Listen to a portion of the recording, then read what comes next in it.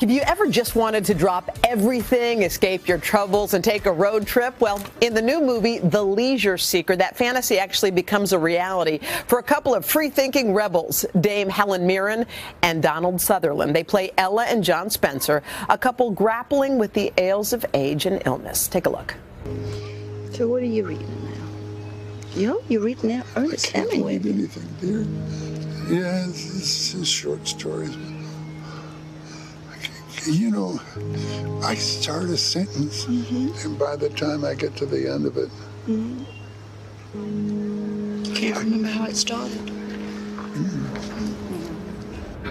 Dame Helen and Donald, good morning to both of you. Good morning. That was a very, very serious clip, but this movie has everything in it. You guys are on the road in an RV, so we decided to kind of deck the place out for you. What do you this think? Is, this what do you is think? exactly like it. This is exactly like it. All right, you guys, spectacular. you guys play a pair of like white-haired rebels. You are on the road. You're playing these independent folks.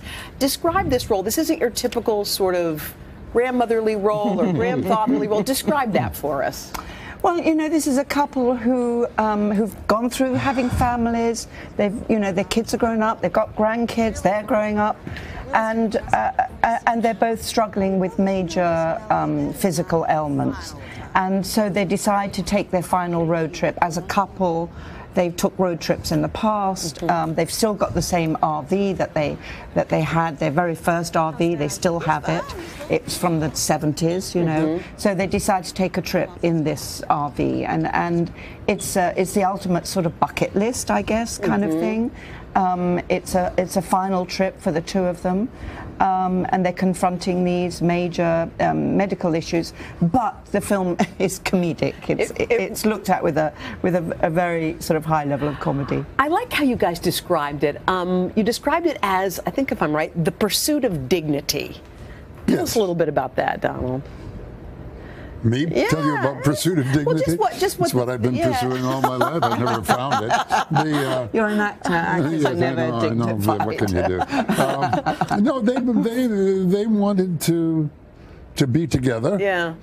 To fulfill uh, a dream of his, which was to go to Hemingway's house in Mm-hmm. Key West, which was pretty disappointing for them, both of them. Mm-hmm. Um, but just, and he didn't, you know, because he had a couple of. He had a couple of problems. Couple of issues. Yeah, he, he couldn't remember some stuff. Well, the, the chemistry between you two is undeniable. If I were just, you know, watching this thing, I would think a lot of it seems like it was you two ad-libbing, improvising, having fun. Was was there We some did. of that? Yeah, you we, felt it. we we She did, I didn't. yeah. Yes, you No, I did. stuck straight to the script. You're script. such a lie. lie. Just makes this stuff up, you know. Oh, I love her to death. You two. This isn't the first time you've worked together, right? Do you remember the the first film you guys worked? It was I- 30 years ago. It was indeed. Uh, it was a film called Bethune, um, uh, and Donald was the starring role. Look, and look, look. He was. Oh my God! Oh, Look at you guys back then. What do you think when you look at these uh, these clips of this 30 years I ago? I haven't seen that for like years. Oh look, that's when I hit you. Do you remember I hit you?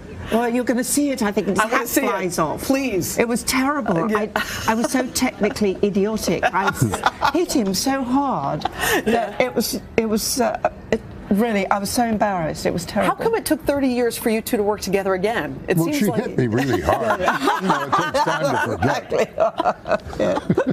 He said no. For the next 20, 30 years, he said no. Take her off the list. Oh wow! Well, Helen, you've always been like a little bit of a rebel anyway. I mean, you Her? play a rebel. Yes, don't you Completely think? and utterly. Yeah, I mean, I think you were ahead of Hollywood. Um, just you, when we talk about your personality and speaking out when I think a lot of women didn't, you just you just sort of went in the driver's seat and did it any way you wanted. Uh, I guess Yeah. you know. I mean, uh, the trouble is if you. If, if, if people aren't listening, it doesn't matter how much you talk. Yeah. If the culture is such that people won't listen, you know, you're, you're just talking into the void. Nothing nothing comes back at you. That's you really need smart. you need the culture to change. And, and I always think, um, in my wisdom of old age, I've come to understand that what people a- a- ascribe to nature is actually cultural, and the culture can change. They make it out as if that's nature. It's just how we are as human beings. You Yeah. can't change that. It's natural. But no, it's not. And do you really It's feel that change? Do you feel it, it's happening? Absolutely. For sure. Absolutely. Yeah. All right. Well, you guys are such fun, and your this movie is a lot of fun. I want to thank you both for coming to see us. It's called The Leisure Seeker. It opens March the 9th. Hello, Today fans. Thanks for checking out our YouTube channel. Subscribe by clicking that button down there and click on any of the videos over here to watch the latest interviews, show highlights, and digital exclusives.